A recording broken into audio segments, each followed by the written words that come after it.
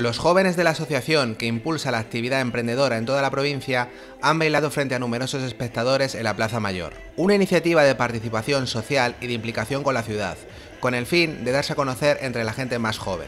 Es una iniciativa de los propios jóvenes de la asociación que están eh, poniendo en marcha negocios, pero que también quieren hacer otras cosas para que se les vea y para que bueno, pues se, se muestre que emprender y hacer cosas distintas pues también implica a veces divertirse y, y bueno, llamar la atención, ¿no? En esta organización lo fundamental es ayudar a los jóvenes a buscar alternativas en el mundo empresarial y fomentar el autoempleo. La etapa que estamos viviendo de desempleo, de no saber dónde salir y demás, nosotros sí que ayudamos y apoyamos lo que es a, al autoempleo, al emprendedor, a la motivación, ¿no? Asociados, familias y amigos no han querido perderse la oportunidad de disfrutar de esta actividad lúdica y festiva.